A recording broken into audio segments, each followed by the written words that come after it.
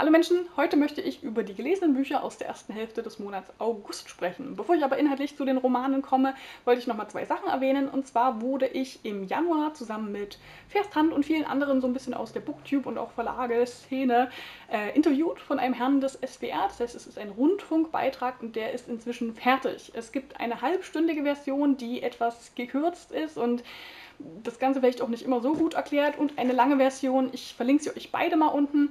Wenn ihr die Zeit habt, würde ich euch die längere Version empfehlen, aber ja, falls ihr überhaupt Lust habt, es zu sehen. Und dann gibt es noch ein zweites kleines Interview mit mir und einem Herrn Markus Mötz, der aber eher so ein paar Sachen gefragt hat für Leute, die sich eben mit Booktube noch überhaupt nicht auskennen. Das heißt, das sind eigentlich zum Großteil Infos drin, die ihr, glaube ich, alle schon kennt, wenn ich mich jetzt recht erinnere, aber ich verlinke es euch einfach trotzdem mal. Und dann geht es auch schon los mit den Büchern.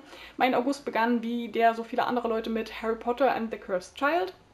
Dazu gibt es eine Einzelrezension von mir, was, Überraschung, meine meistgeklickte Rezension hier auf diesem Kanal ist. Und ich bin mir noch nicht so richtig sicher, was ich davon halten soll, weil es vielleicht doch nicht ganz so repräsentativ für meinen Kanal ist. Auf jeden Fall halte ich dieses Video spoilerfrei und ich will es hier jetzt kurz fassen. Ich bin ganz gern in die Welt zurückgekommen. Ich hatte wirklich Lust darauf, hatte ja vorher auch nochmal alle Harry Potter Teile gelesen. Aber man muss zugeben, dass der Plot wirklich Hanebüchen ist. Also da sind große Fehler drin und ich will natürlich nicht zu viel verraten, aber man kann so vieles daran auseinandernehmen und es ist unlogisch oder passt einfach nicht zu den Charakteren, passt nicht zu den Menschen. Ähm, das heißt, ich würde es eigentlich wirklich nur Leuten empfehlen, die, die unbedingt wieder in die Welt zurückkehren möchten und vielleicht über ein paar Schwächen in der Handlung hinwegsehen können. Danach las ich dann Fegefeuer von Sophie Oxanen. Das war entweder mein Geburtstags- oder mein Weihnachtsgeschenk von Versand. Das heißt, ich habe ein ganzes Stück gebraucht, um mich ranzumachen und bin so, so froh, es jetzt gelesen zu haben, denn es war sehr, sehr gut. Ähm, inhaltlich geht es los mit einem Treffen zwischen der schon recht alten Alide True, ich hoffe, ich spreche die estnischen Namen halbwegs ordentlich aus, und der noch jungen Zara, die in Alide Trues Garten als ein regloses Bündel einfach liegt. Und dann erfahren wir halt in einer Art Parallelerzählung sowohl aus der Vergangenheit der beiden Frauen und eben der Gegenwart, wenn sie miteinander sprechen, versuchen sich kennenzulernen, warum ist die überhaupt dort und so weiter und so fort. Bei Alide ist die Vergangenheit halt rund um den Zweiten Weltkrieg und danach dann Estlands Eingliederung in die Sowjetunion. Bei Zara ist es so, dass sie unbedingt in den Westen gelangen wollte, sich davon halt sehr, sehr viel versprach, es letztlich auch schafft, aber nicht wirklich auf die schöne Art und Weise, wie sie sich das immer so erträumt hatte. Ähm, Sophie Oksane lässt sich sehr, sehr viel Zeit mit der Charakterentwicklung. Ich muss zugeben, so auf Seite 60 habe ich auch mal ganz kurz gedacht, na komm, jetzt brauche ich aber langsam ein bisschen mehr, ich will was wissen, wer sind die Leute und so weiter und so fort. Aber spätestens mit den Rückblicken in den Zweiten Weltkrieg, ich weiß, es ist sehr klischeehaft bei mir, fand ich das absolut mitreißend. Das ist halt eine Sache, die mich immer wieder interessiert und über jetzt Estland zu der Zeit habe ich wirklich noch so gut wie gar nichts, glaube ich, gelesen. Vielleicht kam es mal irgendwie am Rande vor, aber ich las definitiv keinen Roman, der sich darauf konzentriert. Ähm, es gefiel mir sehr, sehr gut, wie komplex die Charaktere sind, auch in ihrer Vergangenheit. Aber, ähm, und das ist etwas, was ich nicht als Spoiler empfinde, einfach weil es bei mir auch im Klappentext steht, es ist ähm, etwas, was wir im Buch erst etwas später herausfinden, was man sich aber irgendwie auch schon so ein bisschen denken kann. Das heißt, ich finde nicht, dass es ein Spoiler ist, aber ich versuche es nicht zu vergessen, euch hier einzublenden, wo ihr hinspringen sollt, wenn ihr das nicht wissen wollt. Was ich eigentlich sagen will, ist, dass ich ganz gerne mal eine Geschichte über eine Frau, speziell auch während des Zweiten Weltkriegs, aber nicht nur, lesen möchte, in der eben der Protagonistin auch mal etwas anderes, Schlimmes passiert als eine Vergewaltigung.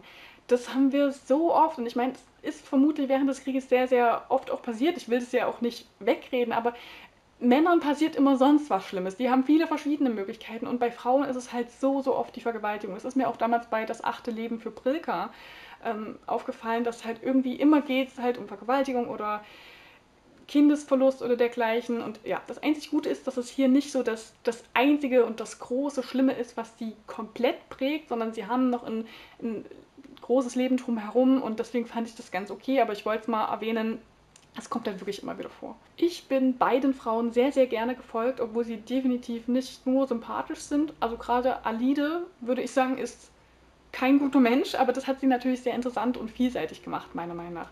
Ich bin sowieso ein großer, großer Freund davon, wenn man eben irgendwie noch so das persönliche Schicksal mit der Geschichte eines Landes verbindet. Das ist immer eigentlich die Art und Weise, wie ich am liebsten von geschichtlichen Ereignissen höre. Und was ich auch ganz, ganz toll fand, ist tatsächlich, dass dieses Symbol der Fliege immer wieder auftaucht und äh, man das in verschiedene Richtungen interpretieren kann. Aber meistens geht es halt so in die Richtung, dass es etwas Unreines ist, was man nicht vertreiben kann, eben auch Gedanken eventuell. Und ja, gefiel mir sehr, sehr gut. Auch sprachlich mochte ich es. Es ist nicht immer aufgeladen, was ja auch in einem Roman dann doch immer mal ein bisschen nervig kann, aber es ist gespickt mit wirklich schönen Formulierungen und eine davon möchte ich euch mal vorlesen. Die Großmutter hatte sie angesehen, zum ersten Mal direkt angesehen, und Sarah hatte gespürt, wie der Blick der Großmutter ihr ins Innere, in den Mund und in den Hals drang, und wie es ihr die Kehle zuschnürte, und wie der Blick ihr die Kehle hinab zum Herzen drang, und wie er ihr das Herz zusammenpresste, und vom Herzen war er ihr in den Leib geflossen, dass es ihr den Magen umdrehte, und er war ihr in die Beine geflossen, die anfingen zu zittern, und aus den Beinen war er ihr in die Fußsohlen geflossen, dass sie kribbelten. Und er war heiß geworden, und Großmutter hatte gelächelt. Aus diesem Lächeln war ihr erstes gemeinsames Spiel entstanden, das, einen Wortspross um den anderen treibend, zu blühen begann, dunstig und gelblich, so wie tote Sprachen blühen, und so anmutig knisterte wie eine Grammophonnadel und so klang, wie Stimmen unter Wasser klingen. Leise und flüsternd war ihnen eine eigene Sprache erwachsen. Das war ihr gemeinsames Geheimnis, ihr gemeinsames Spiel. Also es ist atmosphärisch meiner Meinung nach wieder schön dicht. Das ist eine Sache, die mir sehr gut gefällt und wirklich an keiner Stelle jetzt irgendwie locker leicht und das ist ja dann eigentlich genau mein Buch von mir, also eine Empfehlung. Danach las ich als E-Book Die Vegetarierin von Han Kang, die es jetzt übrigens auch auf Deutsch gibt. Ähm, und da beschließt Yong hier nach einem ähm, bedrohlichen, bedrückenden Traum keine tierischen Produkte mehr zu sich zu nehmen. Das heißt, meiner Meinung nach ist sie eigentlich Veganerin, aber alle sagen irgendwie immer Vegetarierin. Es geht auch eigentlich viel weniger darum. Also Han Kang nimmt diesen Vegetarismus eigentlich nur als Ausgangslage für eine Geschichte voller Obsessionen, also wirklich in jeglicher Art. Jeder hat irgend so eine kleine Besessenheit.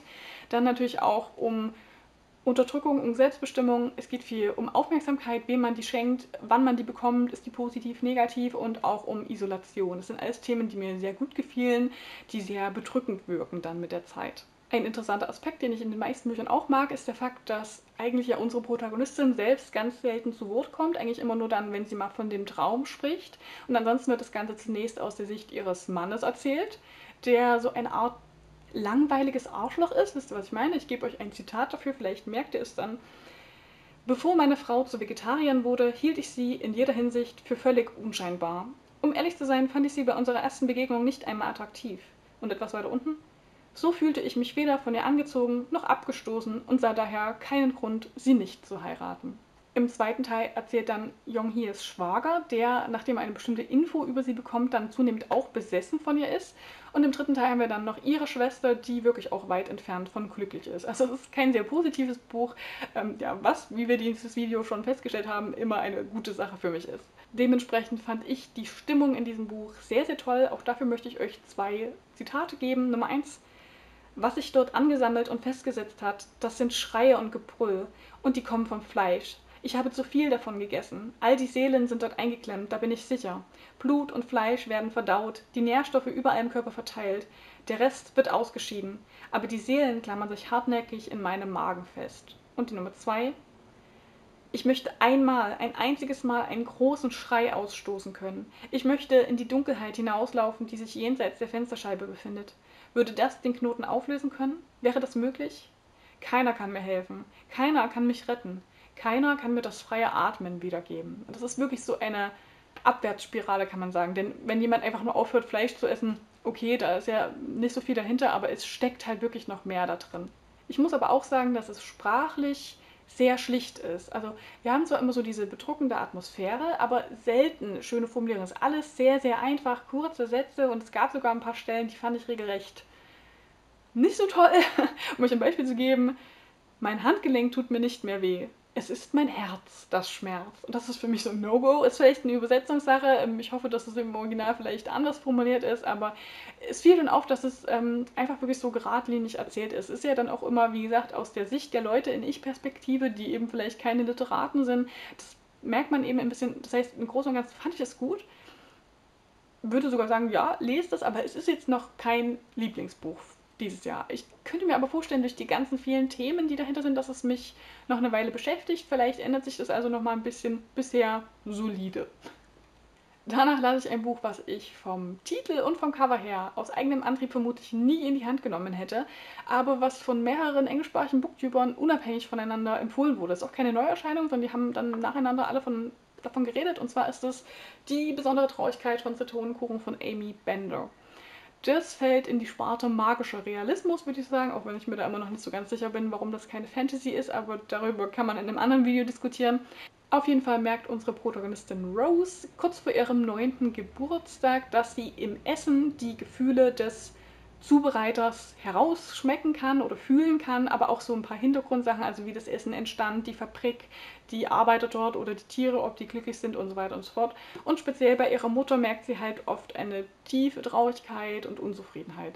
Das Ganze wird in Ich-Perspektive erzählt und in der ersten Hälfte des Buches muss ich sagen, fand ich es eben nett, sag ich mal. Wir hatten so diese Kinderperspektive, die eben die Probleme in ihrer Familie zum ersten Mal so richtig bemerkt. Aber mehr war es halt auch leider nicht.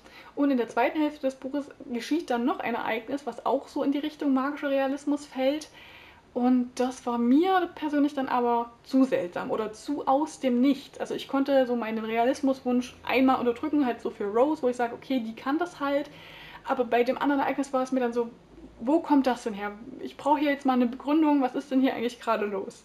Gleichzeitig wird das Ganze durch dieses Ereignis aber auch etwas ernster, was mir sehr gut gefiel. Und wir lernen auch den Vater der Familie etwas besser kennen, der zuvor etwas zu kurz kam, meiner Meinung nach.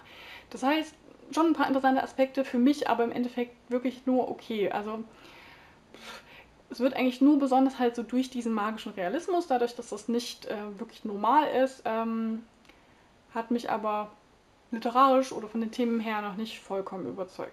Dem folgte dann Die Raben von Thomas Bannerhead, wozu es auch eine Einzelrezension gibt, weswegen ich mich hier wieder kurz fassen möchte.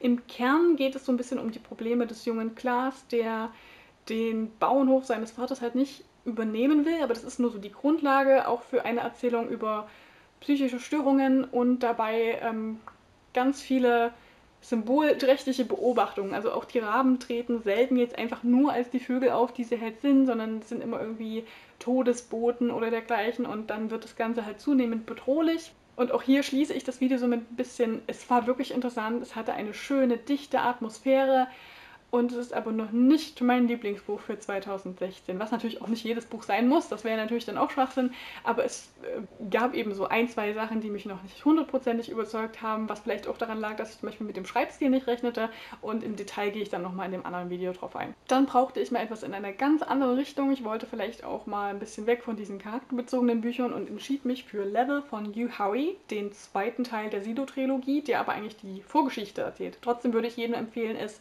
in der Reihe Reihenfolge eben zu lesen, wie es publiziert ist. Denn hier ähm, verliert der erste Teil so ein bisschen seinen Witz. Ähm, ich fand es unglaublich befriedigend, endlich äh, die ganzen Hintergrundinfos zu bekommen. Ich bin sowieso jemand, der es mag, wenn man ähm, langsam versteht, was denn eigentlich Sache ist. Ähm, tatsächlich ist es ein, letztlich ein Ding, was ich oft nicht nachvollziehen kann, aber nicht, weil ich es unrealistisch fand, sondern weil es einfach so weit weg von meiner Lebenssituation ist. Also es geht halt hier viel um um Macht und, und alle Fäden in der Hand halten zu wollen und dass man für die gesamte Menschheit entscheidet und dergleichen. Ähm, das ist irgendwie so eine Sache, die ich absolut nicht möchte, aber ähm, ich kann verstehen, dass es Menschen gibt, die in diese Richtung handeln. Es hat meiner Meinung nach schon ein paar Fehler oder einfach so schwache Stellen im Plot. Zum Beispiel, wenn jemand, der eben etwas Verbotenes tun möchte, so in diesen Raum der Wächter kommt und sagt, ach komm, du bist doch bestimmt müde, ich übernehme deine Schicht und derjenige sagt, ohne drüber nachzudenken, ach, das ist aber nett von dir, dann hau ich mal ab, ist doch mega, was du hier machst. Finde ich immer ein bisschen unrealistisch. Ähm, ich mochte es aber sehr und war positiv überrascht davon, dass wir hier weitestgehend einen sehr ruhigen Erzählton haben, der aber trotzdem immer spannend bleibt durch die verschiedenen Perspektiven, die wir haben und auch die verschiedenen Zeitebenen. Ähm, aber es gefiel mir eben sehr gut, dass es nicht ständig Action ist. Und dann hatte ich zwar nicht mehr geplant, mir ein neues Buch zu kaufen, aber ich wollte jetzt mal unbedingt eine Reihe beenden und kaufte ich mir also noch Exit und ich liebe das Gefühl, Reihen zu beenden. Das ist großartig. Ich mochte den zweiten Teil vielleicht einen Tick mehr, was unter anderem eben an diesen Zeitebenen lag, die so einen schönen eigenen Sog entwickelten und daran, dass wir in diesem Buch jetzt ähm, zwei Subplots hatten, die mir persönlich einfach ein bisschen auf die Nerven gehen. Das war unter anderem ein kleines Mädchen, was so bei der geringsten Ablenkung immer wegrennt und sich von der Gruppe entfernt und dann auch noch so einen Hund findet und das das ganze Buch über immer Welpchen nennt. Und dann hatten wir halt auch noch so ein paar religiöse Fanatiker, was ich einfach alles so unnötig fand. Also es entstehen dadurch halt immer so kleine Schwierigkeiten. Ständig muss man das Gör suchen oder die Fanatiker versuchen eben Fortschritt zu verhindern. Und wir haben dabei eigentlich so ein großes, wichtiges Problem zu lösen und die ganze Sache mit dem Silo und stattdessen verschwenden wir, sage ich jetzt mal, Zeit für solchen Kokolores. Ging mir persönlich etwas auf die Nerven, ist jetzt aber auch nur eine Kleinigkeit. Inhaltlich will ich sonst jetzt gar nicht mehr verraten, das wäre dann zu viel, aber ich wollte noch mal allgemein ein paar Worte zu der Reihe loswerden denn ich finde die Bücher wirklich solide. Und das klingt irgendwie auf Booktube immer schon fast so ein bisschen negativ, als wolle man nicht zugeben, dass es einem nicht gefallen hat, aber ich meine das wirklich so ein bisschen wertneutral. Denn ja, ich breche jetzt auch nicht in Begeisterungsstürme aus. Es hat so, wie gesagt, ein paar schwache Stellen in der Handlung und es ist auch sprachlich nichts Besonderes, sondern erzählt wirklich einfach nur die Geschichte. Aber gerade die gefiel mir, diese Idee dahinter. Ich weiß, das hatten bestimmt schon andere Leute vorher, aber ich las es eben zuerst bei Hugh Howey mit diesem Leben unter der Erde. Also außer bei Metro, aber das ist eine, eine ganz andere Idee dahinter. Und ähm, ich mag es, dass wir halt eine, eine, komplexe Welt haben. Wir haben eben nicht nur jetzt ein dystopisches System und so nach dem Motto, jetzt ist es halt so, sondern wir erfahren die ganzen Hintergrundinfos, warum das so ist, wie die Leute leben. Wir haben verschiedene Perspektiven, ganz viele Charaktere, die tatsächlich dann auch mal sterben. Das finde ich so sympathisch, die wechseln. Und im Großen und Ganzen kann ich die Reihe also empfehlen, wenn ihr zwischendurch halt immer mal ein bisschen was haben wollt was sich nicht nur auf die Charaktere konzentriert. Also genau deswegen war ich ja auch gerade in der Stimmung. Ich hatte vorher viele Charakterkonzentriertes gelesen und mochte es jetzt auch mal wieder so ein bisschen was zu lesen, wo es um eine fortschreitende Handlung geht. Und dann beendete ich die erste Hälfte dieses Monats mit Of Mice and Men von John Steinbeck, was ich mochte, wenn ich auch einfach durch die vielen positiven Stimmen einfach noch einen Tick mehr erwartet hätte, ist aber eben trotzdem empfehlenswert finde. Es geht hier um den Wanderarbeiter George, der mit dem sehr großen, kräftigen Lenny unterwegs ist, der aber wiederum eben geistig zurückgeblieben ist. Also er ist eigentlich wie ein großes Kind, er kann auch seine Kraft überhaupt nicht einschätzen, weswegen er dann immer unabsichtlich ähm, manchmal kleine, niedliche Lebewesen tötet, weil er sie eigentlich nur streicheln will. Und George kümmert sich eben ein bisschen um ihn. Ist zwar auch manchmal genervt davon, aber bleibt letztlich doch immer bei ihm. Und das Verhältnis zwischen diesen beiden bzw. ihre Träume stehen eben im Zentrum. Wir erfahren aber auch viel über die Zeit während der Weltwirtschaftskrise allgemein und wie das wiederum Einfluss nimmt auf das Verhalten der Menschen untereinander, also zum Beispiel wie man Schwarzen begegnet und dergleichen. Und dabei ist das Ganze immer sehr, sehr dialogkonzentriert. Ähm, und da die Leute eben in im Dialekt sprechen, ähm, war es für mich halt keine schöne Sprache. Also es ist vermutlich sehr realistisch, wie damals geredet wurde oder vielleicht auch heute noch. Ähm, aber ich glaube, das könnte es sein, was mir so ein bisschen gefehlt hat. Ich fand halt auch durch diese starken Dialoge und die Kürze erinnert es mich eher so ein bisschen an ein Theaterstück oder vielleicht eine Novelle. Ähm, und deswegen waren halt so die schönen Beschreibungen nicht da, die ich immer so zu schätzen weiß. Gerade auch in Klassikern, wenn irgendwie noch ein bisschen schöner formuliert wurde, teilweise habe ich das Gefühl. Und das haben wir hier halt nicht. Und ich hätte es tatsächlich auch ganz gern gehabt, wenn die Charaktere einfach noch ein bisschen länger ausgearbeitet werden, was einfach auch aufgrund der Kürze nicht geschieht. Aber ich muss auch sagen, das ist jetzt Meckern auf hohem Niveau. Also ich habe ja schon gesagt, ich fand es gut, ich finde es auch empfehlenswert. Bitte lest es. Ähm, ja, aber ich möchte vielleicht von ihm nochmal was anderes lesen, etwas längeres und hoffe, dass dann vielleicht ein bisschen das, was ich hier vermisst habe, dort auftaucht. Also ein bisschen tiefere Charaktere noch und schöne Sprache vor allem, was ja immer so mein Ding ist. genau. Und das war's für den August. Ähm, es war sehr erfolgreich, obwohl ich das nicht gedacht hätte. Ich hatte irgendwie auch viel anderes zu tun, war öfter mal draußen in der Welt, was man ja kaum glaubt bei mir. Und ähm, ja, wie immer freue ich mich über Meinungen zu den Büchern, die ich gelesen habe oder Empfehlungen für ähnliches und dergleichen. Ich danke euch fürs Zuschauen und ich hoffe, wir sehen uns das nächste Mal.